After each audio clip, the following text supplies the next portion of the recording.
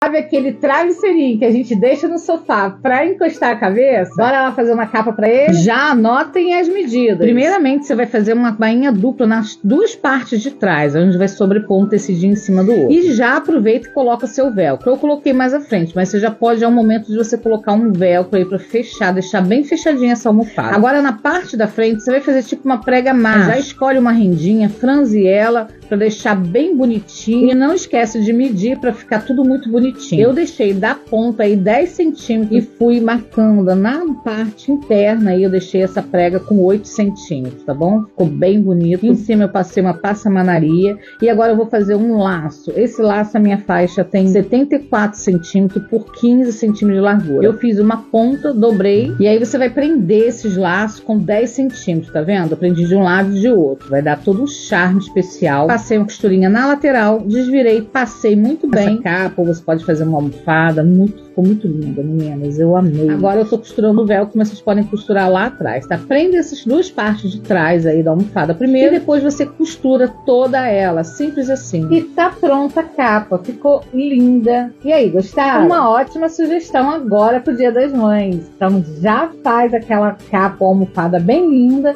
e presenteie a sua mãe. Eu me chamo Simone Catacione, já me segue que todos os dias tem dicas como essa aqui no meu perfil pra você. Beijo.